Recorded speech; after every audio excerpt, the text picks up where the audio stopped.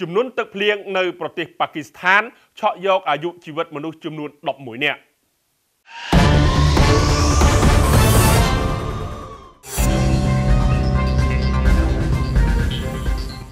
យោងតាមប្រភពព័ត៌មានពីក្រមអ្នកជួយសង្គ្រោះបានឲ្យដឹងថាមនុស្សចំនួន11នាក់កំពុងដេកលង់លក់នៅក្នុងបន្ទប់ក្រោមដី នៃលំនៅឋានរបស់ពួកគេ បានលង់ទឹកស្លាប់បន្ទាប់ពីភ្លៀងធ្លាក់ខ្លាំងបង្កជាទឹកជំនន់ជន់លិចអាគារជាច្រើននៅក្នុងស្រុកកូហាត់ប្រទេសប៉ាគីស្ថាន កាលពីព្រឹកថ្ងៃអង្គារទី30ខែកក្កដា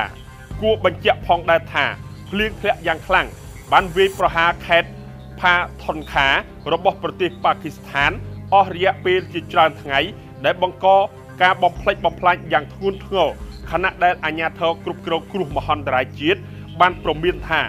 ទឹកនឹងបន្តធ្លាក់ខ្លាំងក្នុងរយៈពេលប្រមាណថ្ងៃខាងមុខនៅក្នុងតំបន់ជាច្រើននៅក្នុងប្រទេសប៉ាគីស្ថានពីខ្ញុំបាទលុនអែក TV5 Online News